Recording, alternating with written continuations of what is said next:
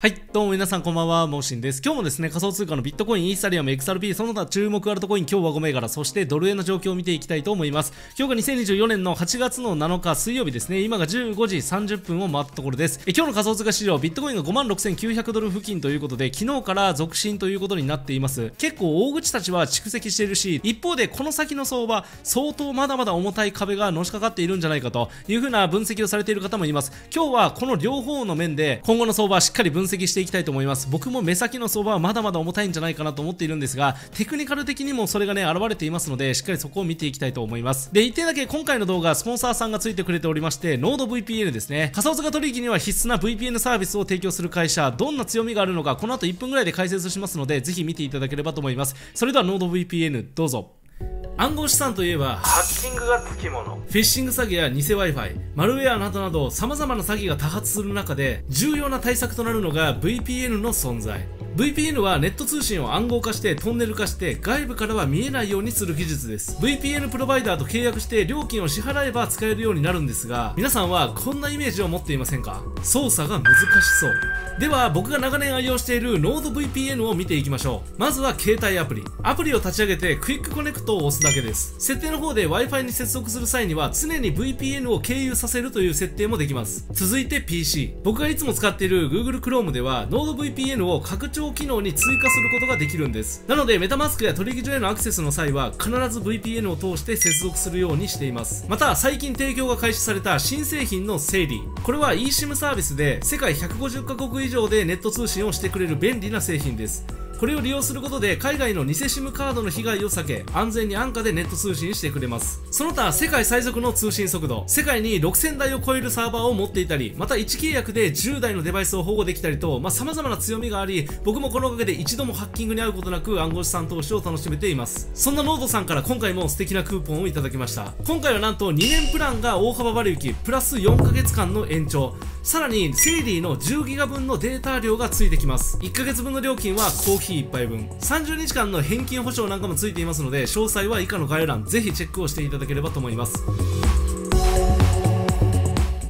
はい、ということで、まだ何の対策も始めてないという方は、僕もこの VPN から始めましたので、興味のある方は概要欄からぜひですね、チェックをしていただければと思います。で、今日の仮想通貨市場ですが、ビットコインが837万ということで、2.5%の上昇となりました。えイーサに関しては36万8000円ということで、0.03%のダウン。イーサがね、なかなか上げきれないという状況が続いています。その中で、ひときわ強さを見せたのが、やはりソラナでした。今日も8%以上上昇していまして、2万2000円を突破しています。今、このソラナの価格帯って、めちゃくちゃ重要なポイントなんですですよね。これを抜ければ問題なく上昇トレンドに回帰する可能性もあるぐらい重要視されているポイントになっています。この辺りもねしっかり今日は解説していきたいと思います。じゃあその前にまずはね今日の日経平均どうなったのか皆さん気になりますよね。ここから見ていきたいと思うんですがえ今日の日経平均は、え先ほど終わりましたね。1.19%の上昇3万5000円台にまた戻してきました。えトビックスやグロースなんかはもっと上昇しているということでまあおしめ買いが入っているという状況が示唆されているかなと思います。今日のアジア市場全体的に見てもほとんどね上昇しているということででやっぱりちょっと適正水準よりも下げすぎたんじゃないかと、えそういった意味でのおしめ買いが入って自立反発みたいな形になっているということが言われています。それともう一つ今日株が大きく上昇した要因に関しては日銀の副総裁の発言がありました、え日銀の副総裁がハト派発言をしたんですよね。要は何かっていうと先日日銀は0.25%利上げをしてきたわけですけれども市場が不安定な状況でこれ以上追加の利上げはしないと、え当面現行の緩和を継続するということを発言してきたんですよね、まあ、今回日経が大きく下落した一つの要素としてはやはり追加利上げをタイミング悪くしてきたというところがあったと思うんですよね。まずはそこの火消しを図ろうとするような発言なんじゃないかということで、え一旦ね安心感が広がったということで今日の上げ幅一時1100円を超えたということですね。それから利上げによって円がめっちゃ買われていたという相場がありました。ここは逆に円が売られる状況になりまして1ドル147円台付近まで下落したということが言われています。ドル円に関しては一気に上昇したという風な状況となりました。その中でアメリカの株式市場では有識者らが緊急利下げをするべきだっていう風な発言を FRB に対してしていたわけですよね。市場のトレーダーもそれを60%ぐらいね織り込んでいたという風な背景があったりしたんですが昨日のアメリカの株式市場で FRB の当局者が発言しました、まあ、今回の下落って7月の雇用統計が弱かったところが起因したわけですけれども確かに弱かったと。ただその内容を勘案したとしても崖から落ちるような景気後退が起きているわけではないと。でそうした状況に陥らないためにも適切な利下げが必要だということを発言現してきたんですよね。なので今のこの状況を見るとやっぱり緊急利下げが行われる可能性は結構低くなったんじゃないかなと思います、まあ、その一方で市場では9月に0.25%ではなくて0.5%、まあ、通常の2倍幅の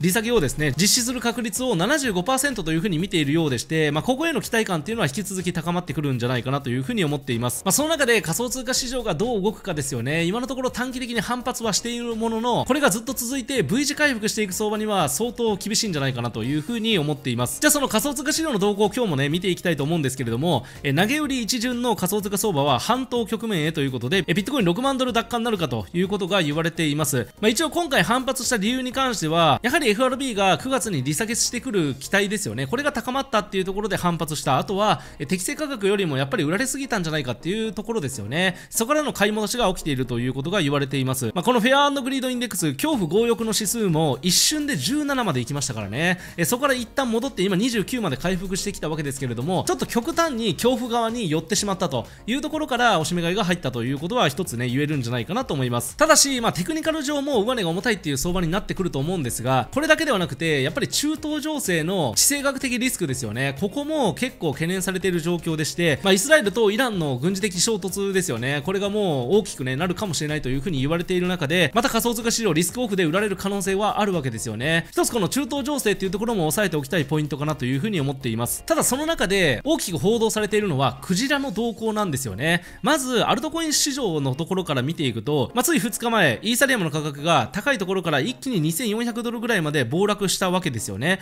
その中で暗号資産取引所からの純流出額は15万2400イーサと。これ6月12日以来の高水準を記録したということで結構出金傾向が見られたということが言われているんですよね。それから今回の暴落の状況の中でも5頭のクジラいわゆる大口投資家が合計14万4000イーサリアム。なので3億ドル相当を買い入れたと、まあ、蓄積したということが言われているんですよね、まあ、もちろん額としては相場を押し上げるほどの大きな額ではないんですけれども一方で大口たちの見方はまだね変わってないんじゃないかっていうふうに示唆することができるんじゃないかなと思います。でこの動向に関してはイーサリアムだけではなくてビットコインにも同じことが現れているようです。ビットコインの永久保有者アドレス。このアドレスが過去1ヶ月で約230億ドル相当の資産を蓄積していることがオンチェンデータで明らかになったということが言われてるんですよね。これは額は相当でかいです。40万 BTC に相当するわけですよね。クリプトクオントのデータを見ていくと、まあ、こちらがそのデータなんですがこれはま蓄積というか需要を表す指標になっているんですがここ30日ですよね。一気に爆上がりしてると。しかも直近の大きな暴落の中で思いっきり需要が増しているということでまあこれは明らかに蓄積されているということをクリプトクオントの CEO が言ってるんですよね。それからもう一つこんな予想をしています。1年以内に伝統的な金融機関や企業政府などが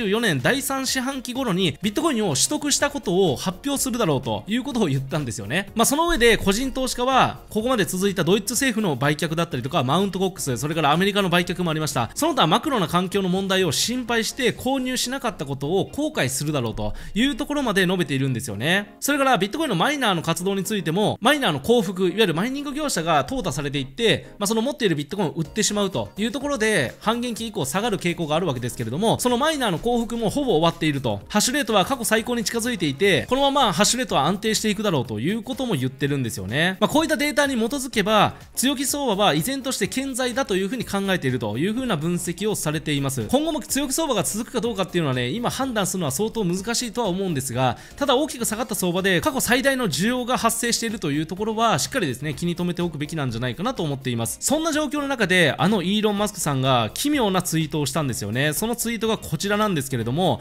えこれ何って書いてあるかっていうと困難な時代は強い人間を生み出すと。強い人間は公共を生み出すと。そして最後、公共は弱い人間を生み出すと。弱い人間は困難な状況を生み出すと。まあそういった人気のですね、ミームをシェアしているんですけれども、大暴落の際にこれを流したのはどんな意図があったのかというところで、結構みんな詮索しているらしいんですよね。で、これって経済のまあ循環のことを表していて、最後は弱い人間が困難な状況を生み出して、その後困難な状況から強い人間を生み出していって、経済がまた上がっていくという風な動きを示していると思うんですけれども、そのまあ最終局面に入っているんじゃないかっていう風に意図しているんんじゃないかと。そういった憶測が流れてるんですよね。つまりこれはビットコインや仮想通貨の安値を買うということじゃないかと、まあ、そこまで飛躍した詮索がされていてこれが X でね結構拡散されているんですよね、まあ、イーロン・マスクさん先日イベントで登壇した際に仮想通貨に対してはもちろんねあの有益だとは言ってるんですけれどもただ私は仮想通貨を推奨するというかこう宣伝していくつもりは全くないですよと。ただ僕はミームと犬が好きなので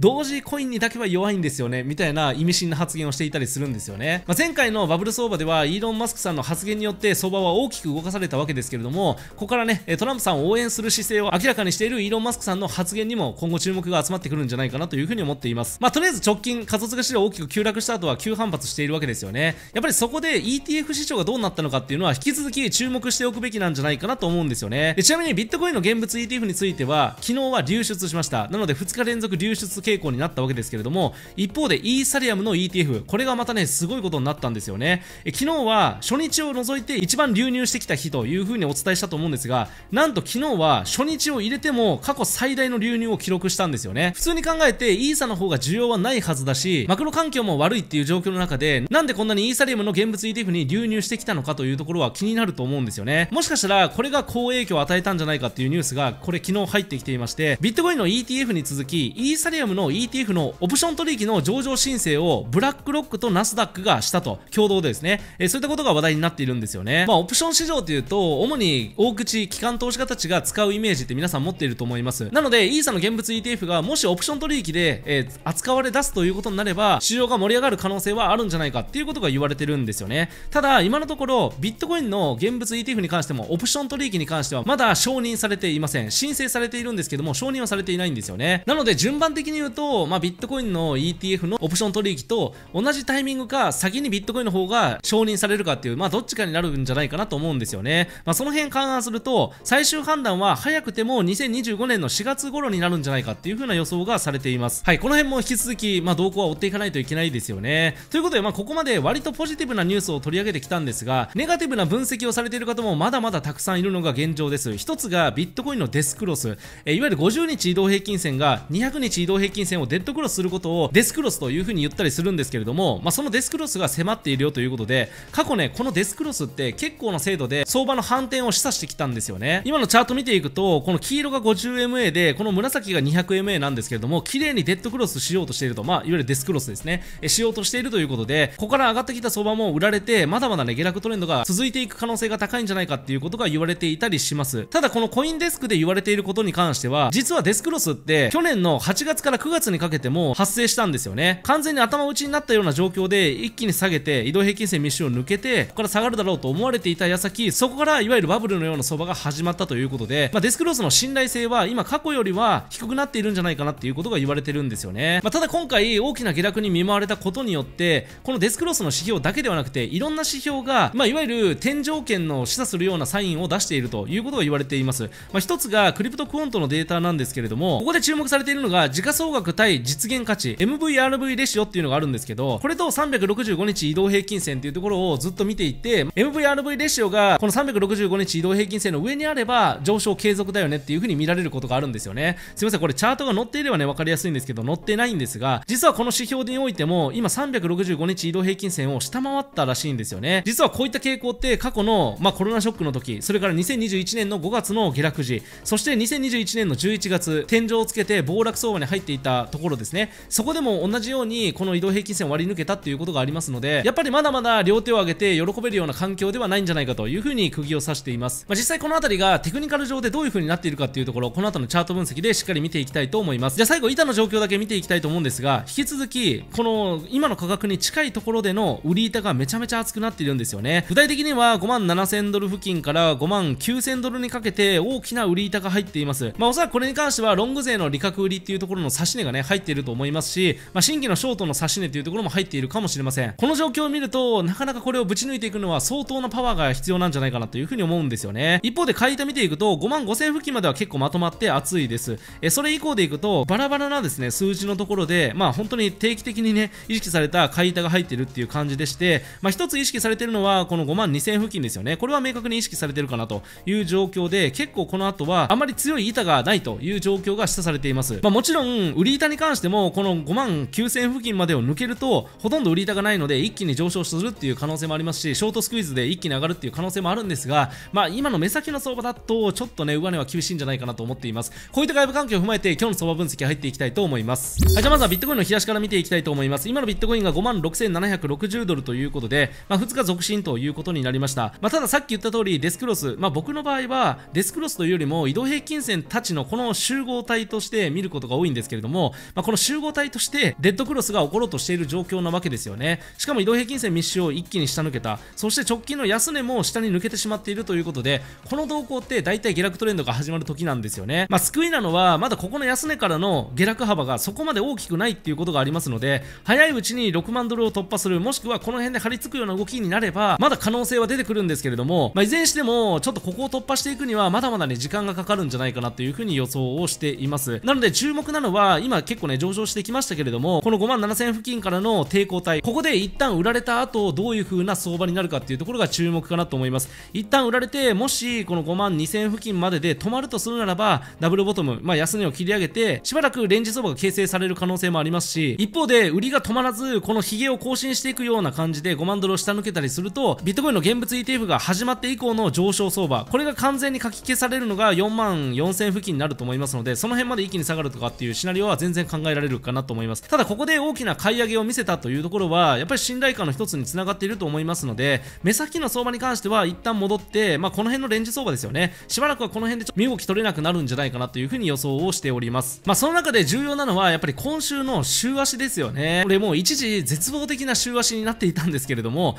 まだね大きくこう踏み上げてきたという感じになっていますのでもし今週中に6万ドルを突破できれば全く話はですね変わってくるわけですよね。まあ、今のところはなかなか予想はできませんけれどもまず目先に関しては5万7000付近まで上がった際に突破できるかどうか。で予想としてはま下がってくるんですけどもその下がってきた時に安値を切り上げられるかどうかですよね。そのあたりが直近の注目ポイントになってくるかなというふうに思っています、はい、一方でイーサに関してはそこまで大きな上昇を見せられていないんですよね。今が2500ドル付近ということで、まあ、一時2150付近ですよね。ここでしっかり下げ止まって反発はしたもののなかなか反発が強くないという状況が続いてるんですよね。この状況を見るともう一回下に下がってダブルボトムをつけに行く可能性が結構濃厚なんじゃないかなというふうに思っています。っていうのは今からね移動平均線はデートクロスしてどんどんこう価格に近くなってきますしその中でこの2800付近の抵抗ラインもまあめちゃくちゃ重たいわけですよね。はいその辺考えると、まあ、今日とかに戻ったとしてももう一回2000ドル前半台を試しに行く可能性っていうのは考えておかないといけないかなと。でしばらくやっぱりこの辺りで低迷していった後に上昇できるかどうかっていうねそんな感じじゃないかなと思っています。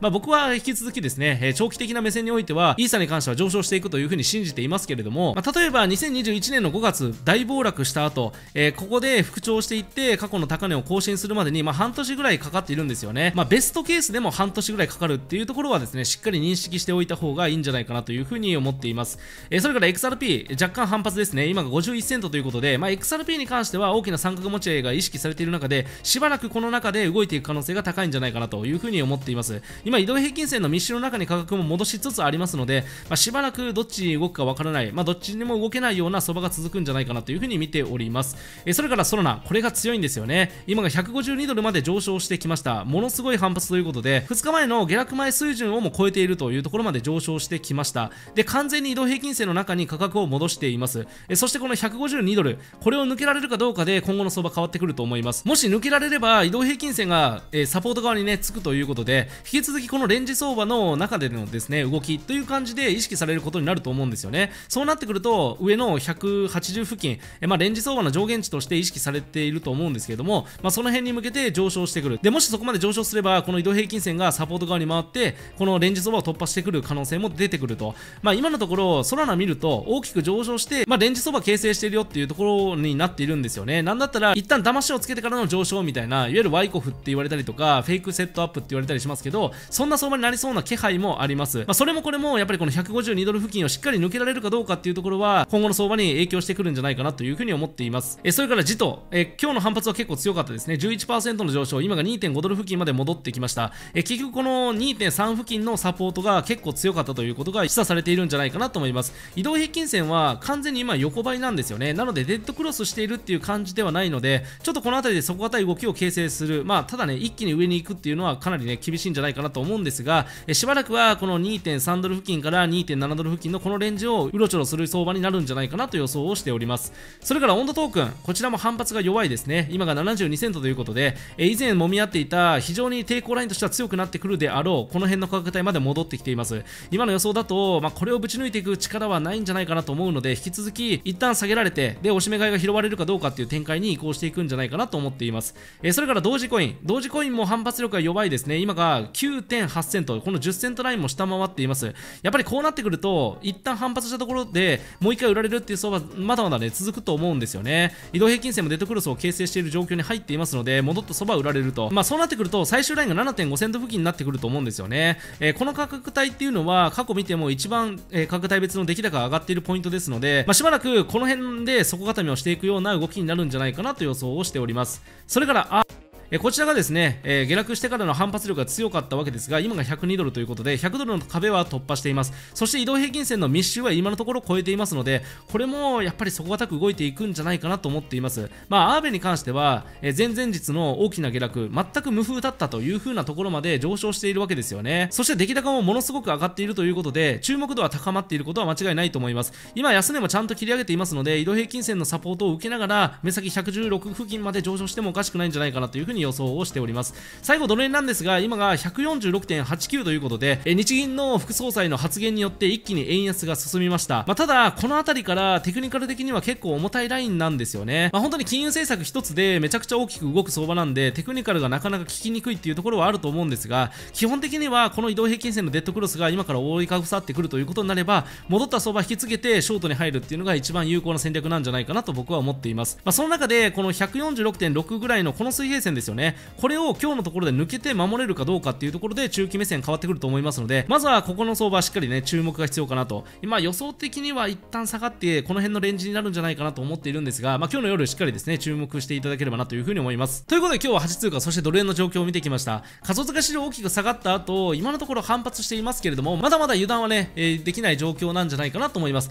一方で市場はかなり絶望ムードに入りました。この6万ドルを再度突破できればさっきの板がね、えー、かなり厚かったっていうところもあると思うんですがショートスクイーズによって一気に巻き戻す可能性っていうのもまだはらんでいるんですよね。直近の相場この6万ドル付近を回復できるかどうかっていうところが勝負になってくると思います。今の状況だと厳しいんじゃないかなと思うんですが来週に関しては CPI なんかもありますので、まあ、その辺にかけて大きくね動き出すんじゃないかなと思っています。まだまだボラティリティはめちゃくちゃ大きいのでぜひ皆さん、えー、注意をしてですねトレードしていただければと思います。ちなみにバンテージトレーディングでは今新規登録1万5000円初回入金120%ボーナスがゲットできるキャンペーンがやっております、えー、仮想通貨のスプレッドはもう世界最強というふうに言っていいと思いますのでまだ口座開設されてない方は今のうちにぜひ概要欄からチェックしていただければと思います。最後までご視聴いただきありがとうございました。今年もアジア最大規模のグローバルカンファレンス WebX2024 が東京で開催されます。業界トップの方たちの生の声を聞ける貴重な機会です。僕も参加します。概要欄のリンクから割引コードモーシンを入れていただくと全チケット20%オフで購入することができます。ぜひ皆さん会場でお会いしましょう。